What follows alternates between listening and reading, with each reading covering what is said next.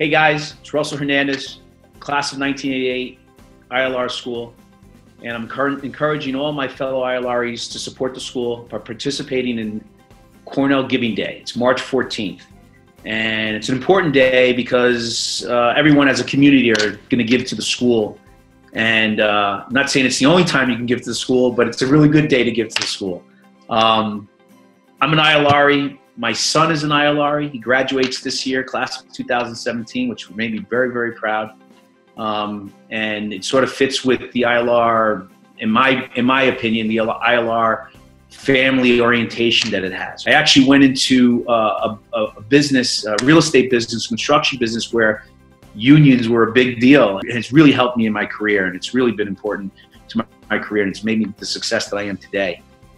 Um, and my son, when I when he went to apply to Cornell and he picked ILR, he was very confused on why he should apply to the ILR school.